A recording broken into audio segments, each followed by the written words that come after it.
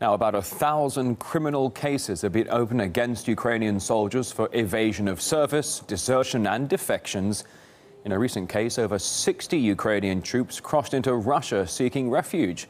Now, the losses of the Ukrainian army continue to grow. Official statistics from Kiev suggest over 700 soldiers have been killed and uh, over 2,000 wounded. But the government is accused of uh, underreporting. Anti Kiev forces claim the army has lost more than 14,000 soldiers killed and wounded. Now, in Kiev, over 400 people have picketed the president's administration. They say the authorities have abandoned soldiers in the city of Ilovaisk. Uh, troops there have been encircled by anti government forces for five days now. And as RT's Paula Slier reports, despair is growing both among the soldiers and their families. As the fighting intensifies and anti-government forces close in, a call for help goes unanswered. Reinforcements for trapped Ukrainian troops are slow in coming. It's not the first time Kiev soldiers feel abandoned.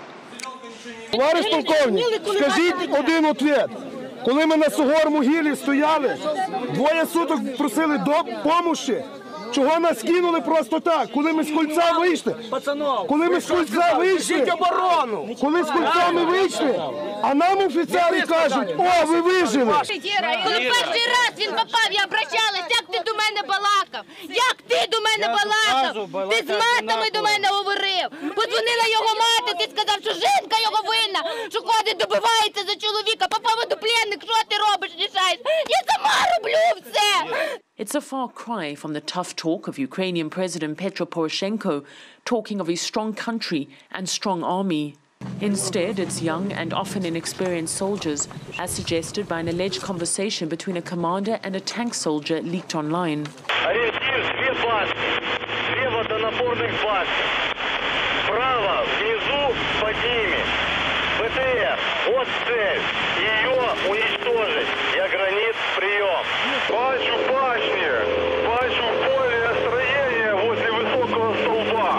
Так, стой, стой.